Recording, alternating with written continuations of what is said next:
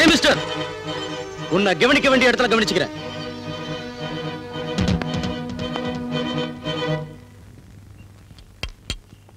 Darling honeymoon Kodaikanal போலாமா? போலாங்க. Okay அருமையான காதலர்கள். காதல் மேட்ரு பேசுறாங்க. அப்படியே கவர் பண்ணுவோம். அங்க போய் ஒரு அருமையான காட்டேஜ் புக் பண்ணி. என்னங்க? அப்போ இனி நைட்டே கொடைக்கானல் போலாங்களா? கல்யாணம் ஆகிறதுக்கு முன்னாடியேவா அதெல்லாம் அப்புறம் பாத்துக்கலாங்க. அப்புறம் பாத்துக்கலாமா? எதை அப்புறம் பாத்துக்கலாம்னு சொல்ற? கல்யாணத்தை தான் சொல்றேன் புரியலையா? கொடைக்கானல்ல குளிர் அடிக்கும் ஒரே கம்பளி போத்தி படுத்துக்கலாம். ஒரே கம்பளிலையா? ஆமா அப்பதானே பிரியாம இருப்போம். ஒரே கம்பளில படுத்தா நீங்க சும்மா இருக்க மாட்டீங்களே. ஏன் என்ன செய்வேன்? முதல்ல கணத்துல கை வைப்பீங்க. இப்படியா? அப்புறம்? அதுக்கப்புறம் தோல்ல கை வைப்பீங்க. இப்படியா? அதுக்கப்புறம்? அதுக்கப்புறம் உங்களுக்கு தெரியாதாக்கும் கொஞ்சம் விட்டா போதுமே. கையிடுங்க? கை இங்க தானே இருக்கு? இன்னொரு கை. இதோ இருக்கு. ஆ.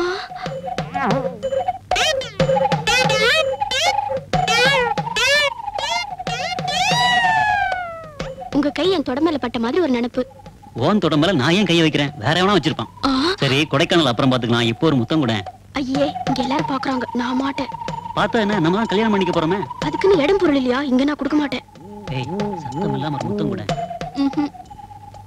மாட்டேன் தம்பி? எல்லாம் சரிதான் இந்த கடைசியா சொன்னீங்களா அது முத்தமா சத்தமா? யாரையா நீ? கதாசிரியருங்க நீங்க காதல் பண்றத நேரடியா பார்த்து எழுதி பத்திரிகைக்கு அனுப்புறதுக்காக. சரி எப்ப இருந்து உட்கார்ந்திருக்க? நீங்க கொடைக்கானல் போகணும்னு ஆரம்பிச்சீங்கல்ல அப்பத்துல இருந்து. நாங்க பேசுனதெல்லாம் கேட்டு கதை எழுதி புஸ்தகமா போடுறோம் ஆமாங்க. இந்த கை வச்சு நீ தானே?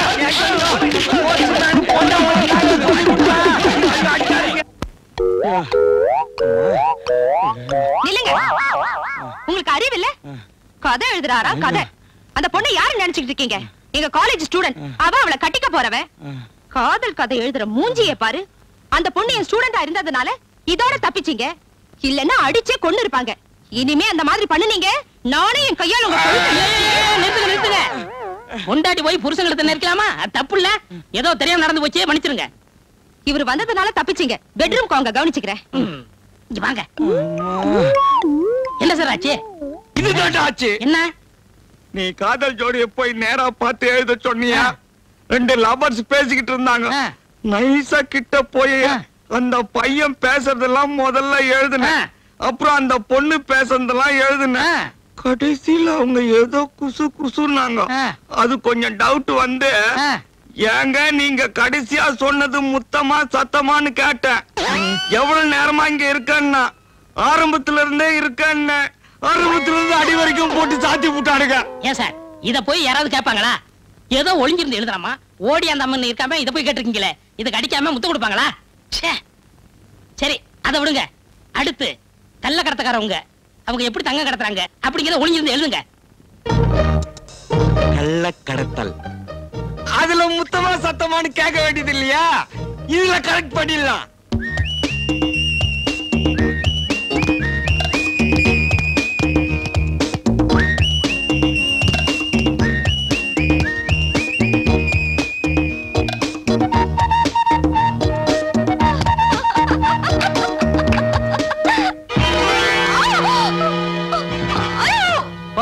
பேப்பரை பறிக்கும் போது உங்க அண்ணன் காப்பாத்துனா இப்ப உன் ஆஃப் பேண்ட கழட்ட போறேன் எவன் காப்பாத்துறான்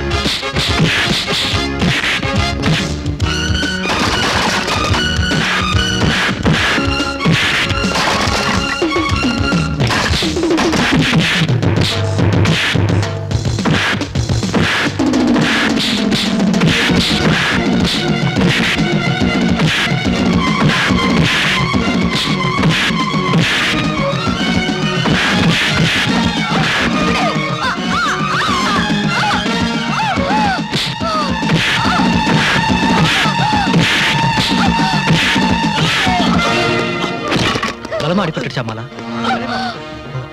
ஏய் விடுதலை இன்னொரு நாளைக்கு பார்க்கலாம் விடு.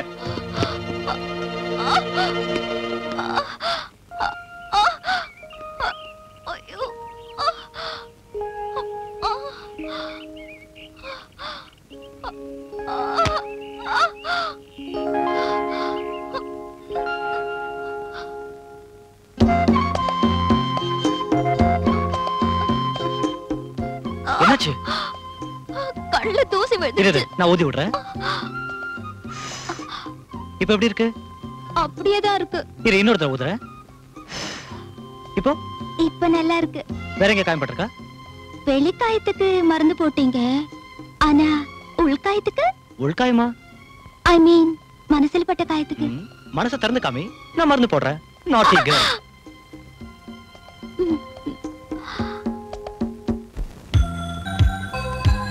ஏய் அப்பா சுத்த மோசம் டைம் ஆகுதுல்ல சீ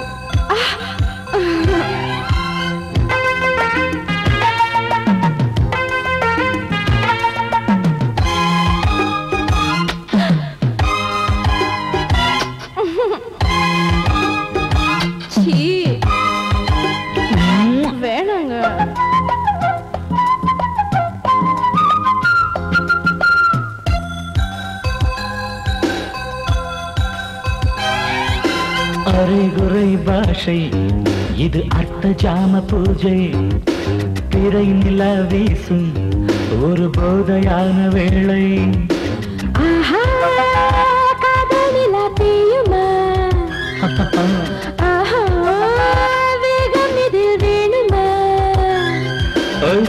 சின்ன பெண்மை ஜன்னல்கள் திறந்தது கண்கள் படாதது மல்லிகை மலர்ந்தது அரைகுறை பாஷை. இது அர்த்த ஜாம பூஜை பிறை நிலா வீசும் ஒரு போதையான வேளை.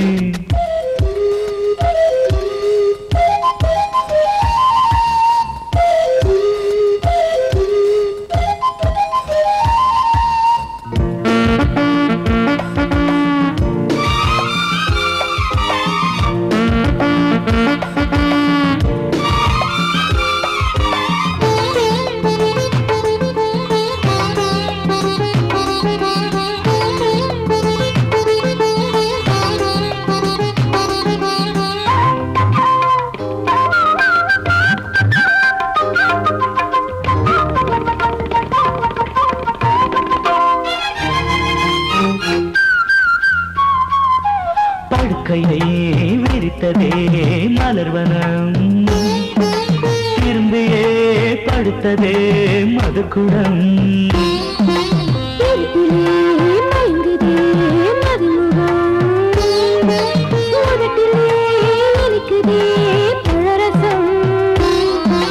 ராத்திரி கூத்தினில் சிவக்கும் இவள் மலர்வி அழகிய கடிதம்.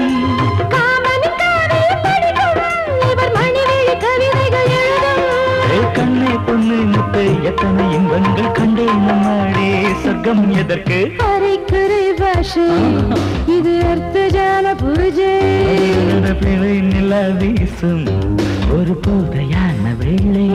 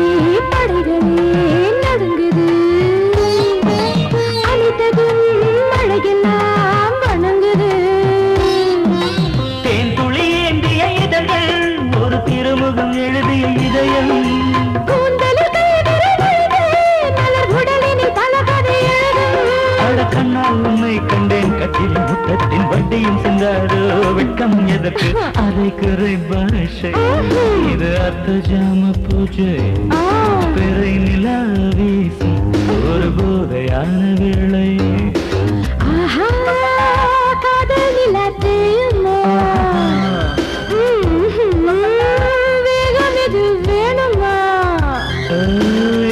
சின்ன பெண்மை ஜன்னல்கள் திறந்தது கண்கள் படாது மல்லிகை மலர்ந்தது அரைகுறை பாஷை. இது அர்த்த ஜாம பூஜை. வீசு ஒரு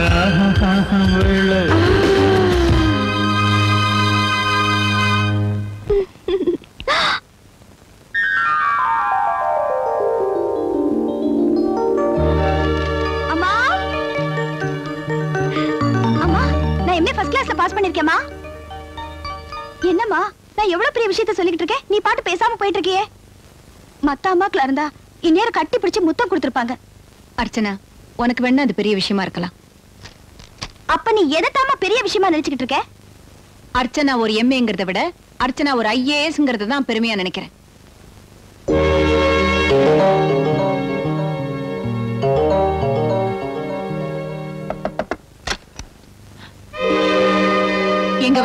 அர்ச்சனா எம்ஏ பாஸ் பண்ணிருக்காங்க. அவங்கள பாராட்டிட்டு போகலாம் தான் வந்தேன். இந்த பாராட்டுறது தாளாட்டுறதெல்லாம் வேற எங்கேயாவது வச்சுக்க. நீ போலாம்.